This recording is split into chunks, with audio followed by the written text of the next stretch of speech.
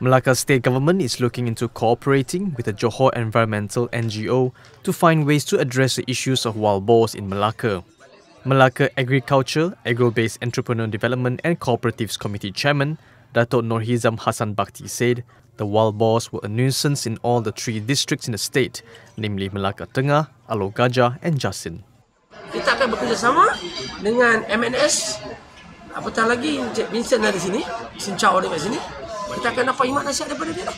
So selepas ni Bersama dengan Jabatan Pelitan pergi belakang. Nur Hizam said that after a meeting with Malaysia Nature Society or MNS Vice President Vincent Chow and his team on Thursday, adding that MNS has wide knowledge of this animal's behavior and migration patterns.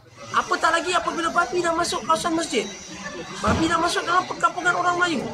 Dan babi dah pergi sekolah, masuk ke dalam kawasan sekolah. Ini pada saya cukup serius.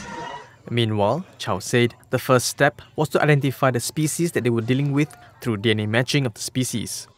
we, we need to discuss in detail. Right. First is to know keadaan di situ. Ini uh, berdasarkan kajian yang akan dijalankan. Dan we kena pasti sebenarnya identiti babi ini kita nak cari pakar untuk pastikan dia punya DNA yang betul. He said the MNS team would also place camera traps in Pulau Besar in Malacca to study the animal's behavior and make the necessary recommendations to the state government on tackling the problem.